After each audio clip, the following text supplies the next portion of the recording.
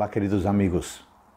O Salmo 24 enfatiza a glória do Senhor e faz a pergunta: Quem é o Rei da Glória?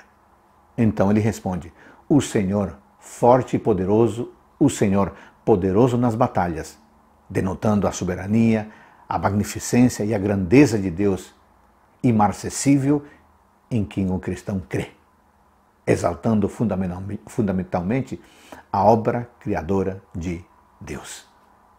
O período em que o salmo foi composto não é identificado, mas por seu conteúdo pode ter sido em alguma ocasião pública de grande solenidade, provavelmente na transferência da Arca da Aliança para seu local designado em Jerusalém, onde deveria habitar permanentemente uma entrada solene do Senhor, por assim dizer, no local de sua habitação permanente, de acordo com os versos 7 a 10.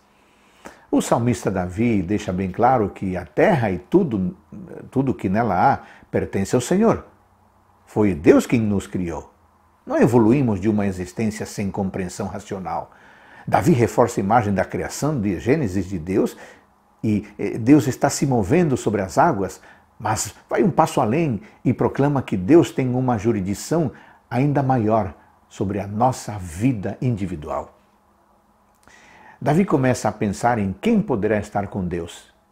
Ele tem certeza de que nosso Deus é o Criador, é o Todo-Poderoso e que é capaz de vencer qualquer batalha, sendo rei sobre todos os reis.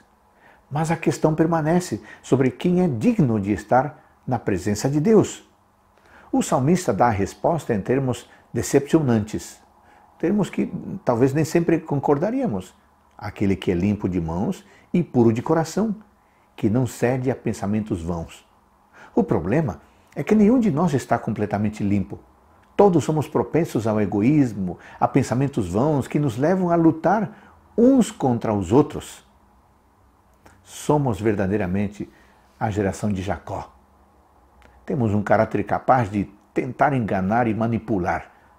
Felizmente, a vida de Jacó não terminou assim. Jacó foi transformado e recebeu um novo nome seu nome foi mudado para Israel. Da mesma forma, embora sejamos uma geração perdida, podemos ser encontrados e transformados.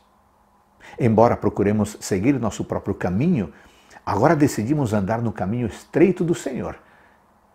Que a nossa oração de hoje seja: Senhor, dá-nos mãos limpas e coração puro, tão necessários para sermos dignos de reinar contigo para sempre. Amém.